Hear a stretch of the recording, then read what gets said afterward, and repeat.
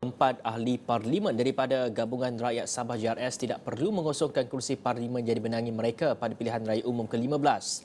Perkara itu disahkan oleh ahli parlimen Sipitang Datuk Mat Bali Musah yang memaklumkan bahawa beliau menerima salinan surat daripada Speaker Dewan Rakyat Datuk Johari Abdul menerusi email pada Isnin. Bercakap kepada Sinar Harian, beliau mengesahkan telah menerima salinan surat dari Speaker Dewan Rakyat itu yang dihantar kepada Datuk Seri Dr. Ronald Kiandi. Katanya speaker dalam surat itu menyatakan dan memutuskan bahawa tidak berlaku kekosongan kerusi mengikut perkara 49A kurungan 1 Perlembagaan Persekutuan.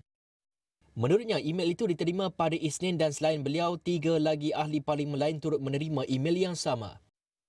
Sebelum itu, Parti Perbumi Bersatu Malaysia Bersatu telah menghantar notis kepada Speaker Dewan Rakyat untuk memastikan bahawa telah berlakunya kekosongan luar jangka dalam kalangan ahli Dewan Rakyat menurut perkara 49A kurungan 3 Perlembagaan Persekutuan yang melibatkan empat ahlinya.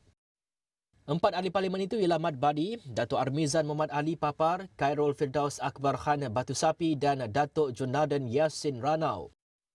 Kesemua mereka adalah ahli bersatu yang bertanding menggunakan logo GRS. Bagaimanapun pada 10 Disember lalu, pengerusi GRS Datuk Seri Haji Jinur menyatakan bahawa kesemua pemimpin bersatu Sabah telah keluar dari parti itu.